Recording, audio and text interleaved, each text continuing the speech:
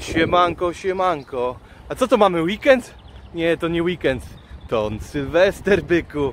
Także wszystkim Wam życzę e, szczęśliwego nowego roku oczywiście. Dużo zdrowia, dużo miłości, żeby Wam wszystkie plany e, wyszły w tym roku.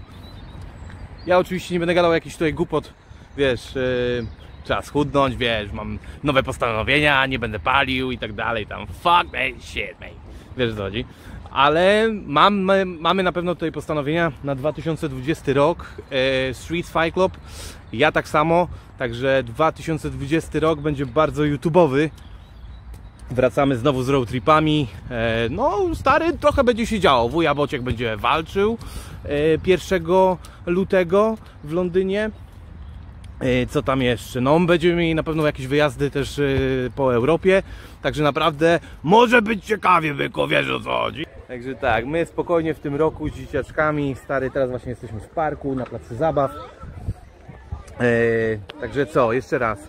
Wszystkiego dobrego Wam życzę na ten 2020 rok. Spełnienia wszystkich marzeń. Pamiętajcie, dochodźcie do swoich celów. Bądźcie zdeterminowani we wszystkim. Trzymajcie się, widzimy się od stycznia.